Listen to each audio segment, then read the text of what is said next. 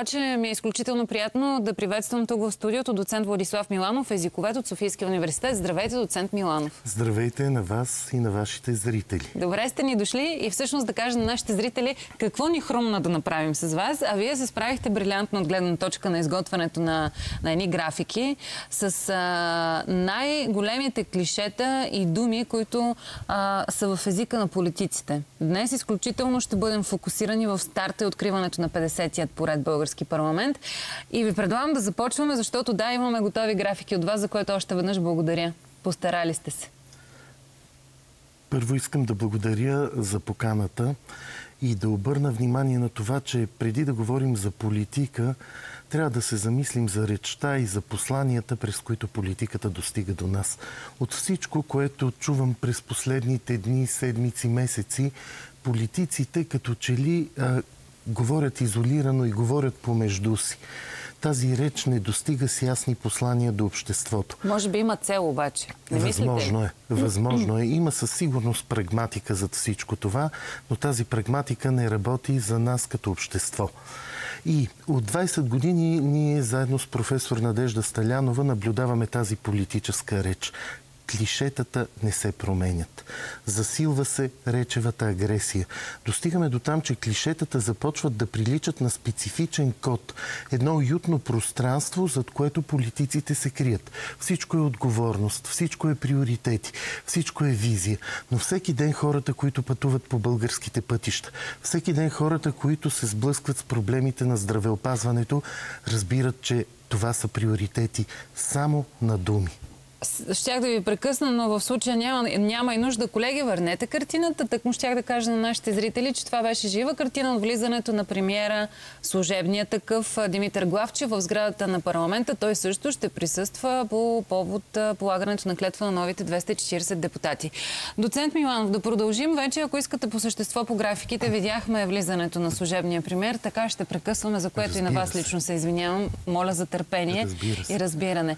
Сега, фрази, които използват от политиците. Това ли са най-големите, не знам дали да ги нарека клишета, или най-честите заучени фрази? Сега вие може би е хубаво да обърнете внимание кое е клише, кое е заучена фраза и има ли общо? Преди да ви отговоря, искам да кажа, че ако преди 20 години ние записвахме тези фрази, а, обработвахме ги под формата на фишове, имахме десетки тетрадки, сваляхме от диктофони с нашите първи студенти, леле, леле. Сега? сега дължим всичко това на колегите, които се занимават с корпусна лингвистика и които имат наистина много богата информация и когато вие влезете в един корпус, по ключова дума можете да видите колко пъти е използвана тя, от кои народни представители.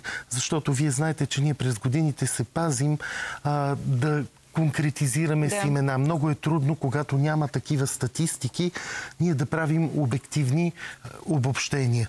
Благодарение на професор Петя Осенова и нейния екип, вече имаме корпус по парламентарна реч. И особено за вас, журналистите е много полезно. Ако искате да видите една дума, с която се обиждат политиците, пишете тази дума и излизат всички примери, с които са използвали Кой, кога тази е дума. Кога я е казал, да. в колко часа срещу кого и то не изолирано, а в цял изреченски контекст. И ето тези фрази, които дължим отново на професор Петя Осенова, показват статистически думи и изрази, които често се използват. Фрази, които много често използват политиците. Давайте да ги прочетем. Правителство, Правителство на споделената, на споделената отговорност. Думата отговорност от 20 години насам присъства в почти всяко изказване и може би конкурира само думата а, приоритети. Аз Казах ви мислех, че тук ще видя и национален интерес. Много обичам, когато всяка една формация каже, ние защитаваме националния интерес. Това доста често също се Не сме чува. го задали като критерий. Да. Иначе в корпуса можете да пуснете и ще видите, че ще излезе много и то пъти, с много да, примери и с много контекст. Виждате, че тук вече се разширява отговорността. Куха фраза ли е това? Всъщност, днес слушах и колегите сутринта Виктор и Мира, визирам в Здравей да. България, които запитаха професор Пламен Киров, конституционалиста, какво Аджиба представлява правителство на споделената отговорност? Джентълменско ли е? Коалиционно ли е това правителство? Какво е? Куха фраза ли е това? Чисто езиково погледнато през вашата експертиза? Това е фраза, зад която не стои реалност. Големият проблем на българското политическо говорене. Думи, зад които не откриваме реалност, не откриваме действителност. Да, ние ще говорим за отговорност. Ние ще говорим пак за приоритетите на всяка политическа сила. Но в крайна сметка, когато тези думи не пораждат една действителност и тази действителност не достига до нас като граждани, да, можем да кажем, че това е една фраза, в която има злоупотреба с думите. Пре, е, така, свръхупотребявани се и в един момент се губи тяхната конкретност. Второто ми е също много любимо. Силна и градивна опозиция, отворена врата за правителство. Така решиха избирателите.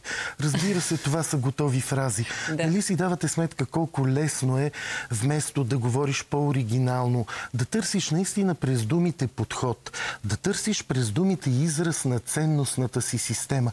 Много по-лесно е да кажеш споделена отговорност. Може много по-лесно е да кажеш вратите са отворени.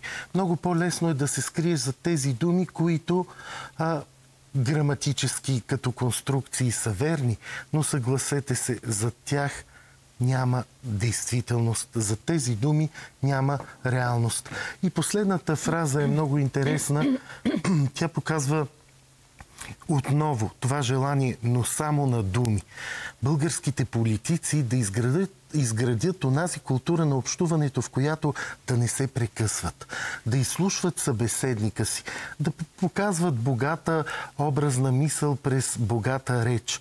И винаги казват, не ме прекъсвайте, аз ви оставих да говорите. В същото време, много често и ние за това с моите студенти, когато описваме тези ситуации, така изпитваме едно искрено съжаление към вас, журналистите, защото а, вместо да влизате в дълбочина в разговора по същество, понякога ви се налага да успокоите тези хора и да ги научите, че а, така интелигентният човек трябва да изслушва. Това е един път и втори път да говорят в конкретика доцент Миланов. Много е трудно това. Кухите фрази да ги обясним на хората и да, да им дадем отговор. Те всъщност има ли все пак нещо вътре зад тях в, в това изречение, което се споделя от ефира или няма никаква конкретика? Много е удобно, особено в предизборна кампания чуваме какви ли не клишета. И ще ви бъде все по-трудно, вярвайте ми, защото клишетата се превръщат в политически жаргон. Те стават модел на политическо общуване. Сега, имаме, имаме и още няколко графики. Ако искате бързичко, можем да минем през тях. Те са свързани с конкретни думи, които ползват отделни формации.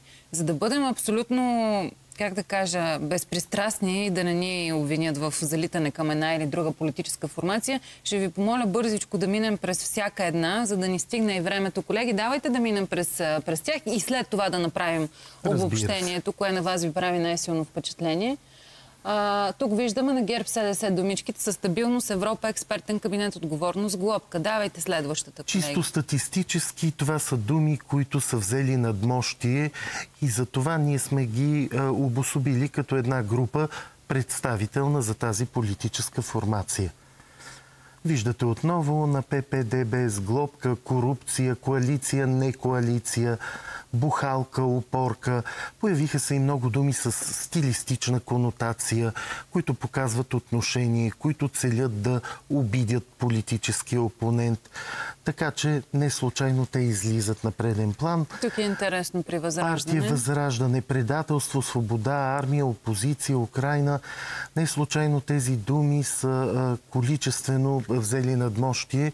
Те са обвързани изобщо с а, идеологията на партията и да, с... личи си между другото, наистина, така, във всяка да. една формация. И при всички партии си личи по ключовите думи какъв профил има тази партия и как през речта успява да наложи Добре. този профил Само секунда, понеже виждаме президента Румен Радев, извинявайте, че ви прекъсваме, вице-президента Елиана Йотова влизат в сградата на Народното събрание. Не се спряха пред журналисти. Подозирам, че това няма да се случи на, на влизане вече в самата сграда. А по-скоро президентът Румен Радев ще чуем, разбира се, от парламентарната трибуна най-вероятно, но след това пред камерите на тръгване от парламента, така че следим а, и да довършим БСП, а, думите са оставка над партия на Украина, пенсии, демографска криза. Виждате, че отново тези думи оформят профила на една опозиционна партия, на една Да чуем. Извинявайте. Моля ви. Която ще положи днес. Всеки един от народните представители се задължава да брани държавния, а не партийния интерес. Да отстоява български, а не чужди приоритети. И аз за това очаквам преди всичко дневният ред на този парламент да се диктува от интересите на държавата и на обществото. Допускате ли обаче, че Но, но а, вижте, а, наистина живеем в а, сложно време и трябва да се даваме сметка, че този парламент има да решава много въпроси, натрупани през годините. Но голямата мисия на всеки един от народните избранници е да съхрани мира, да гарантират нашите народни избранници сигурността на страната и на българските граждани в една много сложна геополитическа обстановка и бушуваща война до нашите граници. Затова пожелавам успех на 50-то Народно събрание. Нека то да бъде по-добро от предишното. Виждате ли шанс за правителство след не могат да председател на парламента? Те първа ще видим. Благодаря ви. Да, опроверга се моята прогноза. Мислех, че президентът Румен Радев ще говори след като приключи официалната церемония по полагане на клетва на новите 240 депутати, но а, президентът се спря пред журналистите и обяви, че дневният ред на този парламент а, трябва да се диктува от интересите на държавата и обществото. Пожела успех. А, стигна се до въпрос а, за прогнозата му по отношение на правителство. М, лаконичен беше и благодари на журналистите за въпросите. Се оттегли. Доцент Миланов, в а, думите на президента какво чухме? Имаше ли такива заучени фрази? Открихме, да, и думите, които с вас коментирахме. Открихме и така стандартизирани изрази, които политиците често използват. И тук идва големият проблем. А, наскоро един експерт каза, че в тази предизборна надпревара политиците са разчитали на предварително подготвени думи. Нека да дойде онова време, в които политиците да разчитат на собствените си думи.